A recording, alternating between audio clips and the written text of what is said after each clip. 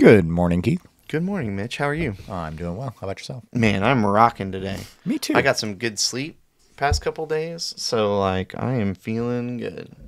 I'm feeling good too. I got some new in insoles for my my shoes. Oh, you got a little pep in your step. Yeah, I do. I do. like It's it. Nice. I like it when Well, I get a little extra arch support. Yeah, I need to get some insoles for It's these. good for me. Dr. Scholl's, not a sponsor, but uh, that's the brand I'm using. Nice, nice. So today we're gonna we're gonna uh, talk a little bit about uh, some different stuff, and really um, focusing on how um, how to connect with and build up uh, like the next generation, like your kids. You know, Yeah, talk about pouring into folks and then uh, grace and truth. Uh, and we want to use, want to frame it up around the story of the prodigal son. mm-hmm. So, um, you know, for folks not familiar with the prodigal son, you want to give the uh, like the condensed. Yeah, Uh, yeah, yeah. So the prodigal son. So basically, there's a, a father uh, who's you know you can think of a landowner, a farmer, right? It's got a lot of land, got a lot of people working for him. Um, you know, kids are kids are, got a couple sons. You know, kids are like, hey, when's my when's my dad gonna kick the bucket so I can have my money, right? Well, one of the kids, um, you know, is kind of like that, and and his his father's like, well, here you go. You want it now? Here you go. Basically gives him his his half of his inheritance, right? So the kid goes kid goes off and spends it lavishly doing all sorts of debauchery and inappropriate things. Um, then realizes, you know, after a period of time, I would assume years later, uh, spends all of his money and is like, "Oh, now I don't have any money. What what can I what should I do?" Uh, and then realizes, you know what? I'm just going to go back, beg my dad for forgiveness, and ask to be one of his his farm hands, one Yeah. of his workers, right? Um, you know, give, give me a part time minimum wage job. yeah, give me, you know, just so I can, you know, get back on my feet. I, I you know, hopefully he'll accept me. Comes back, um, doesn't even have to do anything. His dad just sees him coming up the road and runs to him, and you know, like basically, uh, you know, gives him gives him a ring, you know, showing that he's part of the family again, and and just treats him like he never left. Has a big has a big uh, you know feast and party that uh, his son came back. Great story. Love it. Lots of layers. The- tons of layers. Lots of layers. Some would call it an onion of a story.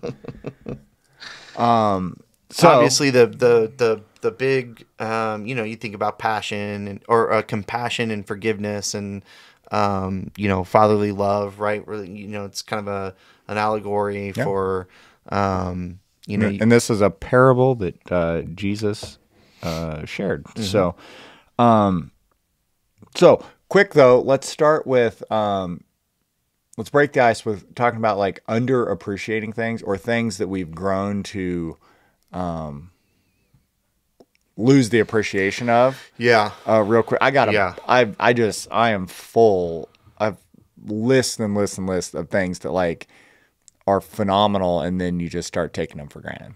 uh, like you or people in general No, I can think of some. So, because you seem like a very grateful person oh, I am you're very appreciative very. Um, so every like, if you've ever like, um, like tools, mm, mhm. right? Um, and you, if you think about like the progression of tools and construction stuff like Yeah. that, like, have you ever been like, um, like you had a handsaw Or like you to show- a, a mechanical Yeah, saw like, to, uh, now we have 16 different kinds of saws Yeah, like you ever gotten into something like really, like really old? You're like rehabbing something real. Or anyway, and it's flathead screws, Mm, right? Mm-hmm. The most frustrating mechanical fastener of all time. Mm-hmm. Um, and you're like, man, that Phillips guy that came out Yeah. with the the Phillips head Yeah. was like a Get you genius. so much more grip. Oh man, and like revolutionized the world. Mm-hmm. And then we and then there in like the '90s, we just scrapped that for the square head. Yeah. because like that didn't. That was like Mm-hmm. that was it. And then you had like a mechanical mechanical drill, like a mechanical drill motor that Mm-hmm. could like spin the Phillips head or the square head. All fascinating. And then boom, it's on to star heads. And then yeah, hex and then and, yep. And then and you- now they have specialized like uh and actually this is kind of interesting. Um so there's a law going through Congress. I'm pretty sure. I don't think it's passed To yet. outlaw flathead. Where uh no no to outlaw companies using proprietary screws so you have to take it to it mainly happens in electronics Oh, right. where they use proprietary heads on the Yep. screws so that you have to bring it to them for service you can't service it yourself so there's a uh, and i won't name the name of the company that's most famous for doing it Well, they're not a sponsor anyway. they're not a, sm- a sponsor, but there's a giant company that's very famous for doing this, um, and um, so they're they're gonna out they're gonna basically say that if you've got uh, a, a proprietary screw or something like that for some reason, You have to open source the you have tool. to open source the tool um, to be able to repair it, which I think is a great use I of our government's time. Very. That is an American thing. yeah, Very American. very American. I need to be allowed the opportunity to, to fix it myself. or break it so no one else can. break it, break it further than take it to a real person. Will charge me double because I broke it. That's but that is my prerogative. That is my my- God-given right. my Americanness is allowed to screw something up, Further Either- than it already was. either fix it or screw it up so bad nobody else can. That's right. That is That's right. so I I I there are two things that I always think about um, that we're accustomed to. Not only electricity, well, I I hold wait for a moment. running water. Uh, I was gonna say air conditioning because electricity is nice. I mean, it's really nice, but like air conditioning, we we're so accustomed to it that we don't we don't even know. Like we we could not. I mean, it's what eighty something degrees outside right now. We probably couldn't be in this room right now doing this. We we'd have to have the windows and the doors open. It'd probably be eighty five in here. And probably our electronic equipment wouldn't be functioning Exactly. We, properly. we probably have to go outside and do this podcast right now. and I don't know that our equipment would function. Exactly. It would. Our even, air conditioning is like without without air conditioning, you can't have computers, you can't have servers, you can't have. I mean, think of all the things that air conditioning helps us with, right? That's number one. Number two, the ability to not be sick, like to breathe. You know, you you miss it when you got your Oh, allergies or when you got the flu, right? You, you'll do any. Oh my god, I got the flu. I'll do anything to feel good right now. But when you feel, Feel good, good. you're just accustomed to it, and you don't. You don't. So every now and then, I have to think to myself, I can breathe today. It's amazing. That's good. Yeah. So Air fryer. Do you have an air fryer key? I do have an air fryer. Okay. I'm not all about adding kitchen appliances. Yeah. Right? Okay. Like Like, tools. Like you don't have like three different kinds of graters in case you want to do a fine shred or a loose shred. no, I got the You got one the that turns. square one? You got the little square one? The different Yeah, yeah. sizes, right? Like I, I, I want to be uh, strategic. You have twelve different simple. kinds of pans depending on what size. I got of- mainly two I use. I have a skillet and a saucepan. Those And are my saucepan, that's I like to use those for Okay. everything. Um, I have one knife. You have a grilling tongs and a cooking tongs. I do because one's nylon coated and Right. the other's stainless. No. Okay. Um, So it sounds like you have a lot of utensils. I, don't- I just try to keep it minimized. So anyway, this Sure. whole air fryer thing comes along, this rage, right? And I was like, no, yeah, me too. you know, like no, I don't know. Mm-hmm. Um, and uh, yeah, I end up with one, and Keith, like it's one of those underappreciated things. Like when the air fryer's Yeah. dirty, right? Like you made some late night pizza rolls. Love me some pizza. and rolls. then and then you know you didn't clean it because you didn't clean it mm-hmm. and then the next day it's time for chicken nuggets and Yeah. you're like no the air fryer's dirty Oh. like whatever will we do right like the sky is falling the world is ending really for the next day. Maybe i'll just go buy a secondary air fryer maybe i need two Yeah, or Like- a second basket or something. Do you have a you have do you have a basket for it? So no, we have a we have a.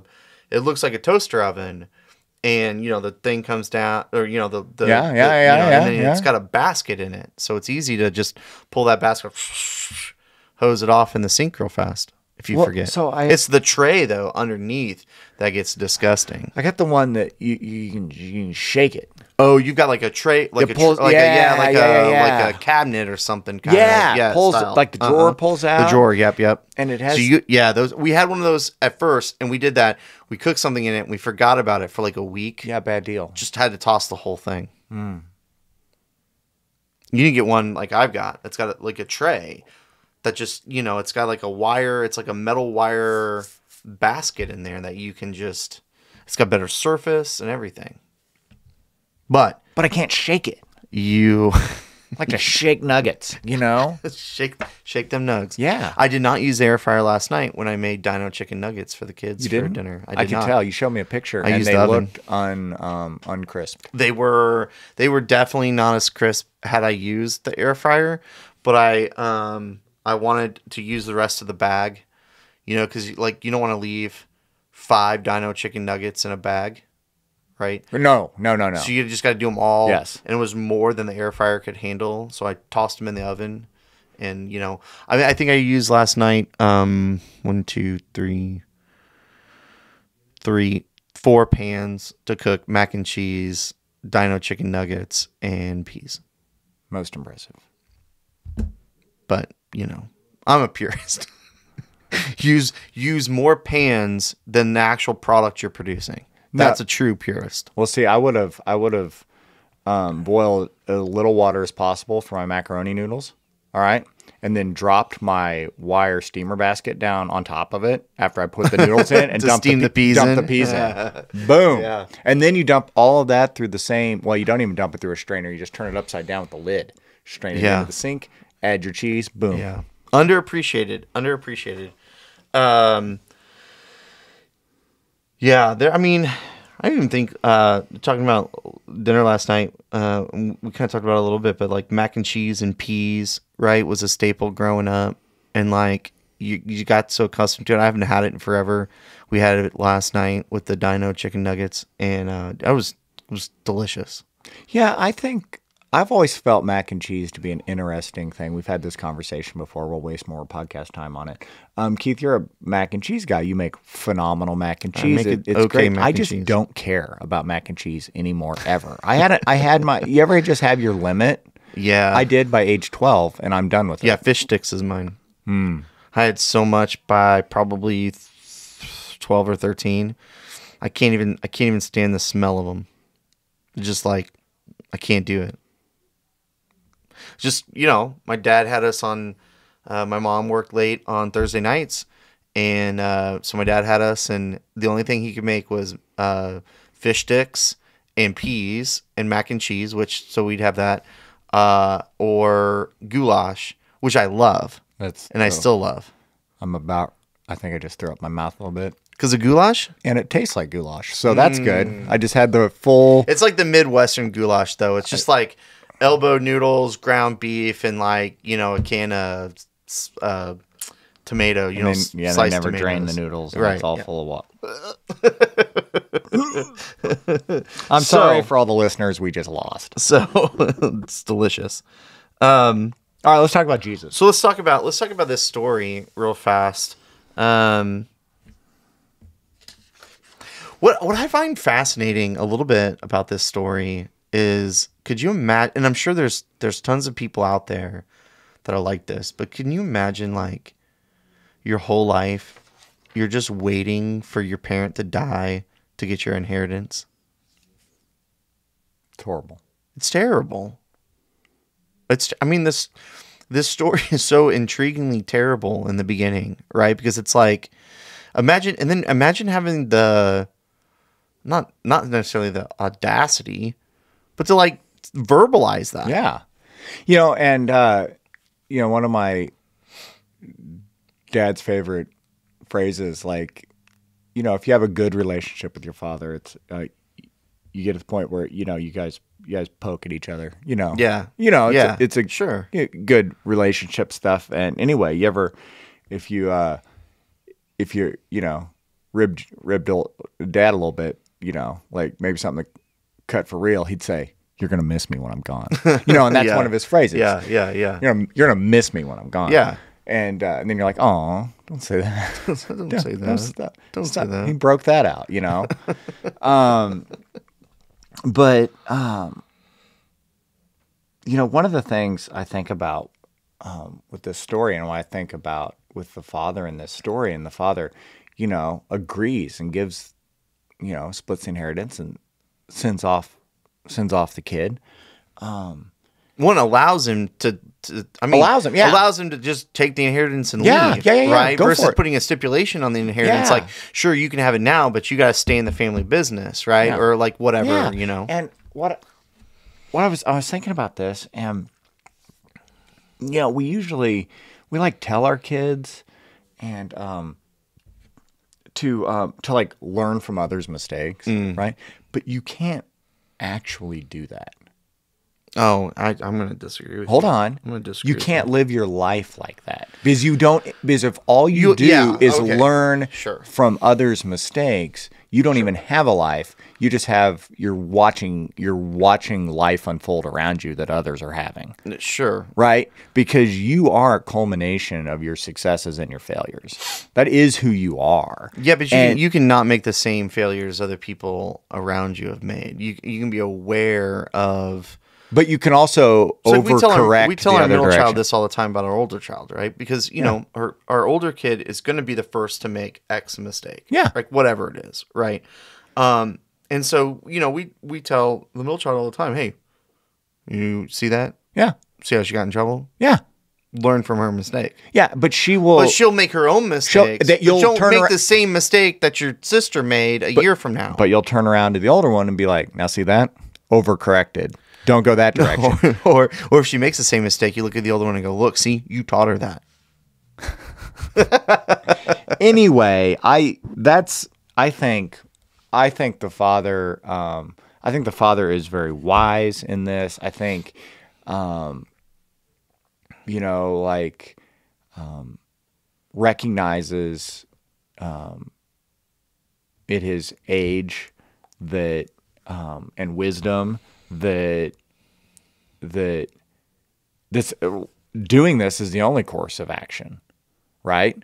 The son won't have any appreciation in anything unless the father's actually teaching him so much by allowing him this freedom to go do this. He rec- this is his only fatherly course of action is is to allow him to do that. Yeah, for multi for a multitude of reasons, right? Um, you don't want, you know, a, one of my fears in life a little bit is being so strict or st- stringent with my kids that they don't want to have anything to do with me when they're older, right? Like, and and part of that is to your point. Sometimes you have to let them do something that you know is going to turn out terrible Yeah.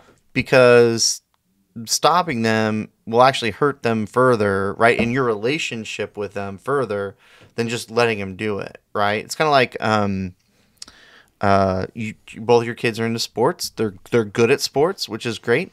Uh one of my kids is not, but she constantly wants to do sports. So it's like you know, okay.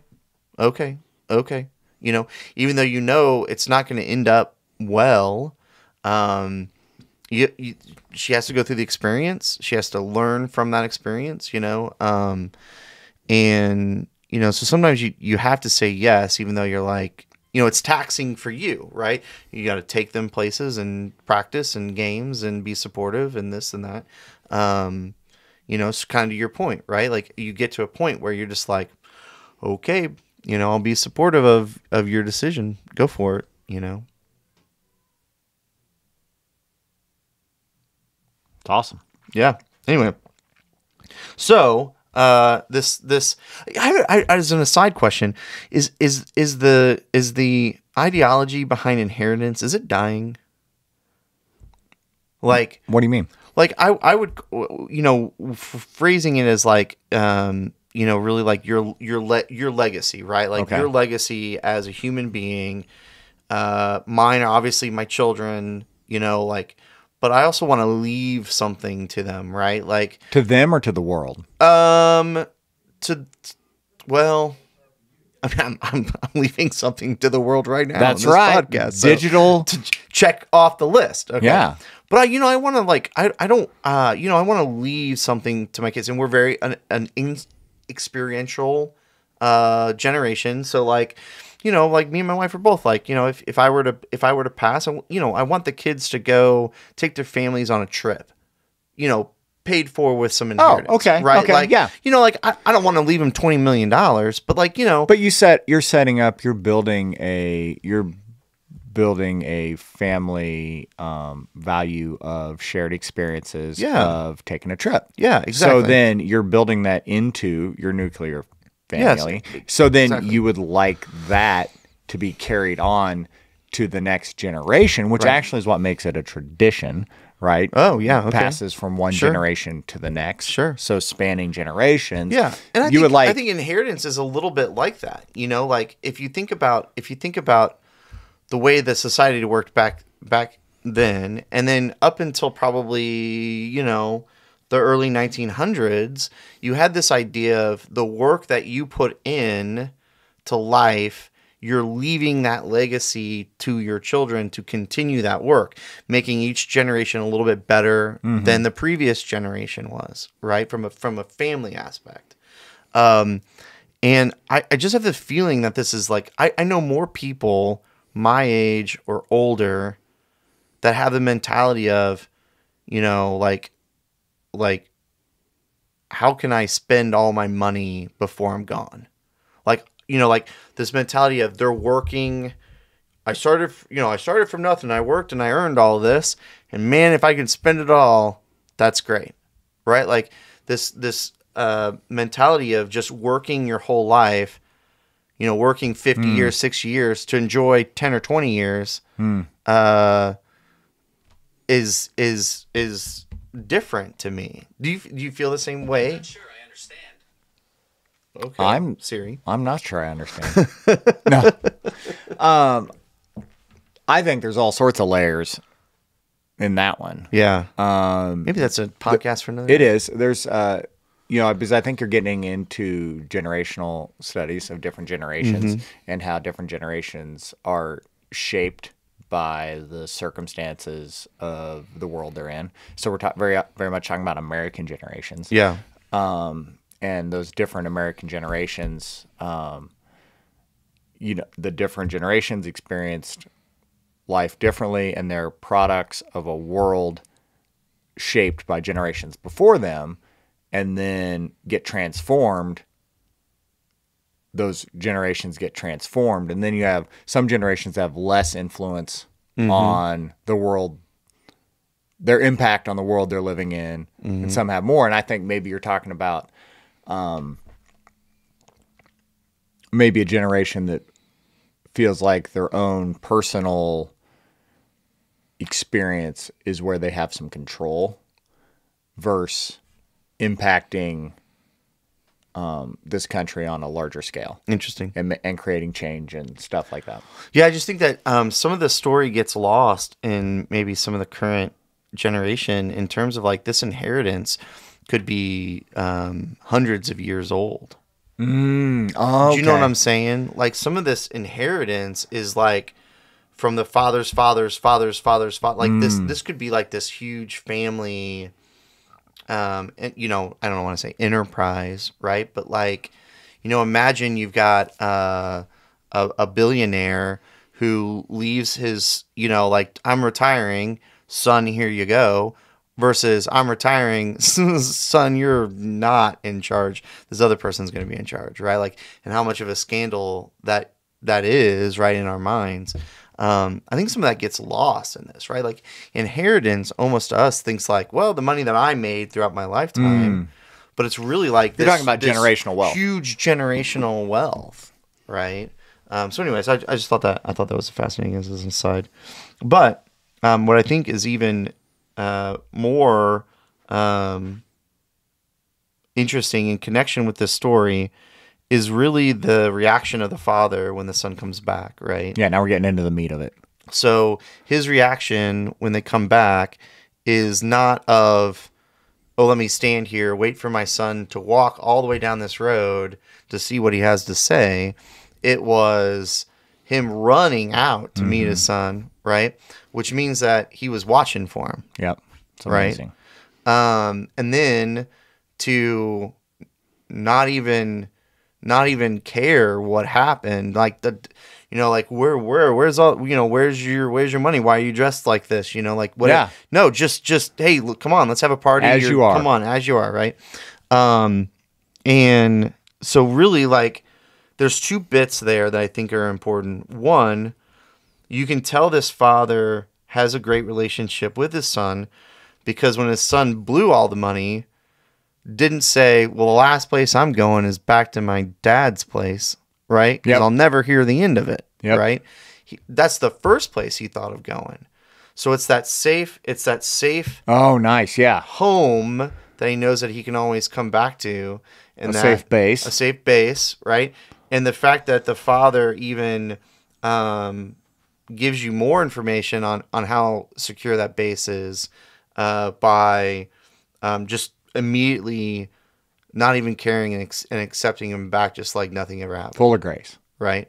Um, so I mean that's really like for me, um, and we've we've talked about this before with our kids, and that's that's what I mean by like before of like I don't want my kids to never want to hang out with me, right? I don't want them to I don't want them to feel like they can't do anything in life without talking to me, but I want them to have that secure base to know that if they've got troubles in life, they can come back to to Yep. my wife and myself, right? Like they can come back to us and and and we'll help them in whatever situation that they're in.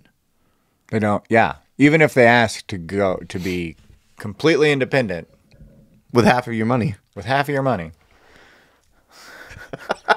could you could you could you imagine when your kids being like, Dad, I'm gonna need half of your bank account. We're gonna. need- I'm going out. I'm going out on I'm out. I'm out. um. so really I, I think that um, for me i'm not sure that that concept of not just you're not just in charge of raising your kids and teaching them right and wrong and then 18 you know you the old adage like, when you turn 18 you're, uh, you're out of the house you're on your own right? Well that's not necessarily true right? Like that's one method i guess is i'm going to feed you clothe you and put a roof over your house and then when you're 18 see ya. Um, but really the idea is all that plus giving them that firm base that they know that they're supported in life even when they're not at the house. So I'm agreeing with all this, and I want to take it this step further because I think as Christians, we're called to model this and be this and create a safe, secure base um, of truth to speak truth into folks, uh, kids, youth, youngsters, give them um, opportunities to succeed and fail on their own and be there to pick up the pieces uh, and support them through that um, and give them a place to return to. And I think that's kind of what we're called to as the church, but it's not a building, right? It's the, the kids aren't going to come back um, to a church building. They're going to come back to relationships and experiences. And, um, you know, that's something I think about is sometimes we get too wrapped up with you and I at our age with children. Um, spending all this um, supportive energy on our own children, but we also need to spread it out over um, this next generation.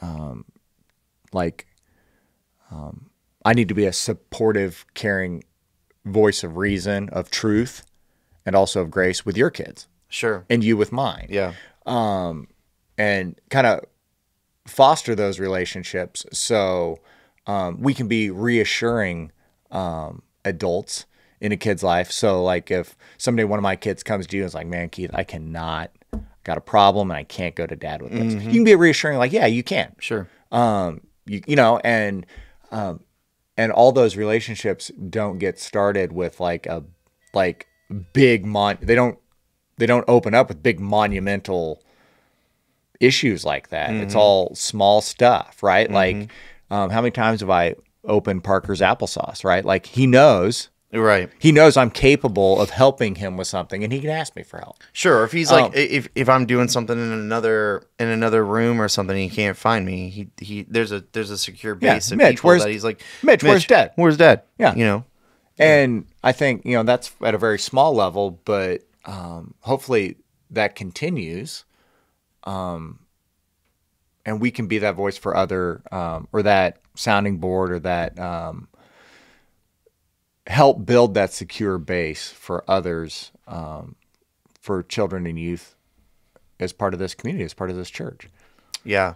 I uh, and I know we're we're running out of time. I mean, I just want to kind of um, I want I want to agree with that uh, to to the tenth degree, and I think that uh, a lot of people in in today's world, uh, and I was reading I was reading something and I forget what I was reading about, but there was like a comment section on the article, right? In the comment section, somebody was like, you know, said, "Oh, could you imagine at sixteen or eighteen talking to somebody in their 30s. They're like, that's so weird. And I'm like, what's weird about that? When I was 16, 17, 18, I had no problem talking to the neighbor who was in their 50s.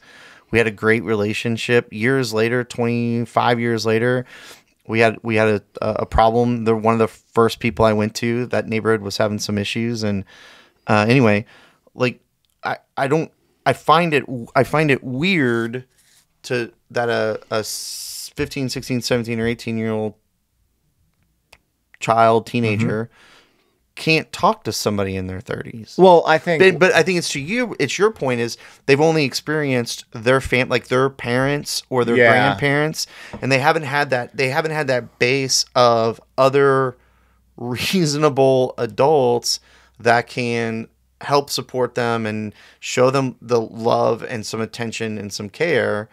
Um, that then they they learn that it's okay to I mean, to interact with people that aren't your age. Like it's, it was a weird concept. It and a lot of people were agreeing with them, and I'm like, where's this coming from? I think the I think one layer that makes that a little more complicated is when you and I were growing up, um, verbal communication was communication. Oh, interesting. So therefore, it was modeled by our parents. Sure. we watched it. We were part of it. We grew up in a world where we watched our adults have adult conversation. Mm-hmm. You know, have conversations with other adults.